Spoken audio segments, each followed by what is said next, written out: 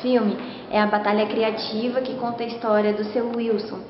Ele é um senhor de, já de idade que começa lá de baixo, cresce na vida, volta tudo de novo, perde muito dinheiro, muito café e começa tudo do zero.